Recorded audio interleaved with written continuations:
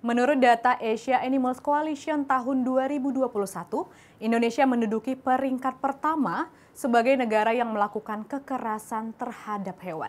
Hal inilah yang menginspirasi Roy Julian, seorang seniman kota Medan untuk menggelar teater bertajuk Tubuh dan Kekerasan.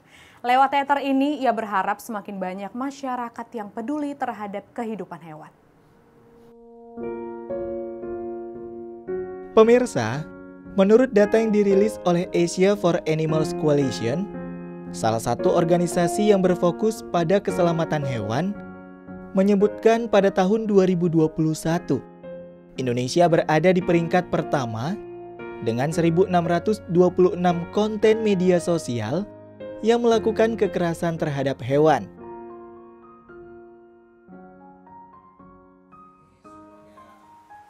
Roy Julian Salah seorang seniman kota Medan menyebutkan, kepedulian terhadap makhluk hidup lain sejatinya harus lebih diperhatikan, tak terkecuali pada hewan. Pemerintah pun telah mengatur di dalam Kitab Undang-Undang Hukum Pidana pasal 302. Pelaku kekerasan terhadap hewan dapat dipenjara 3 hingga 9 bulan. Baginya, setiap hewan layak mendapatkan kasih sayang sebagaimana makhluk hidup lain yang ada di bumi ini.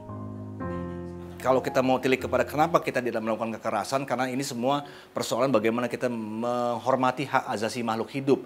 Kalau kita mau tilik hak asasi makhluk hidup ini akan sampai kepada titik siapa yang menciptakan kehidupan, energi itu, semesta. Nah, akhirnya kami sepakat untuk membawa persoalan energi dan kosmik ini ke dalam sejarah kekerasan untuk melihat bahwa sesungguhnya yang layak untuk mendapatkan apa namanya hak hidup bukan cuma manusia tapi juga seluruh makhluk hidup. Hal ini jugalah yang membuat ia dan teman-temannya tertarik menggelar pementasan teater Momentum Metode yang bertajuk Tubuh dan Kekerasan. Pagelaran yang berlangsung belum lama ini diselenggarakan di sebuah kafe Jalan Air Langga, Kota Medan. Roy dan rekan-rekannya hanya mempersiapkan pementasan ini selama empat hari sebelum kegiatan berlangsung.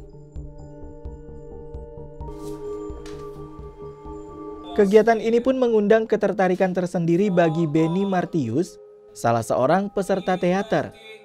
Ia bersama lima orang peserta teater dengan antusias menunjukkan penampilan terbaik di hadapan 30-an penonton. Ia juga semakin bangga karena banyak orang yang peduli akan nasib hewan di muka bumi.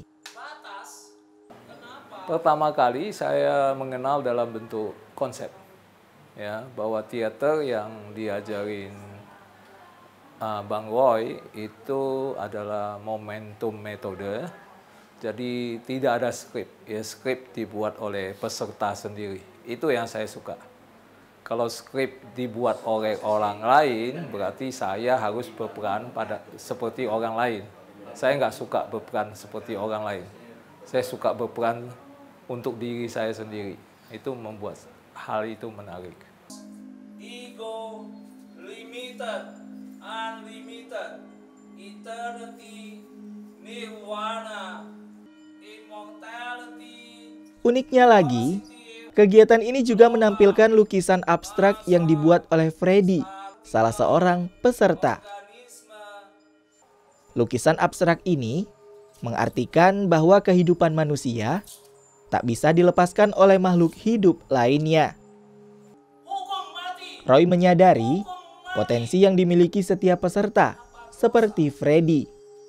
Sehingga ia pun diberikan kesempatan meluapkan rasa takutnya terhadap nasib hewan lewat lukisan di sebuah dinding. Jadi seperti yang saya bilang ini kan semuanya uh, berangkat dari pengalaman tubuh ya dan kita akan menyelesaikan dengan dengan kapabilitas para peserta.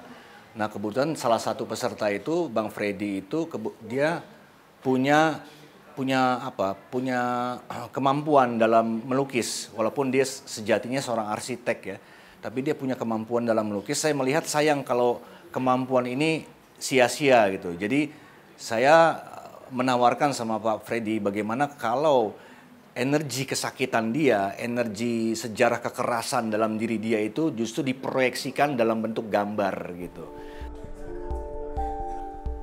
Hewan dan manusia tak bisa dilepaskan dari kehidupan di muka bumi ini.